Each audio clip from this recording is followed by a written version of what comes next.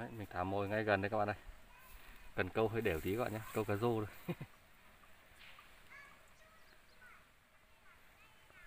Đấy, xem ao nước rất là trong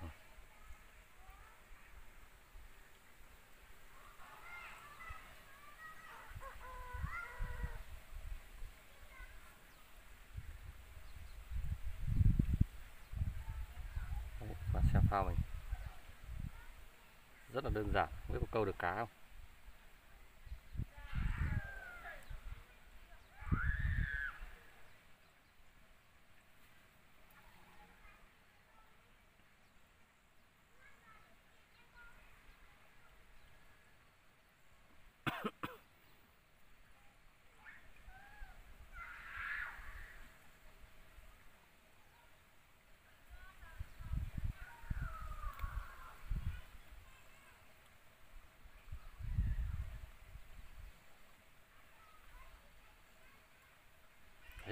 Đấy bọt rất nhiều dưới các bạn này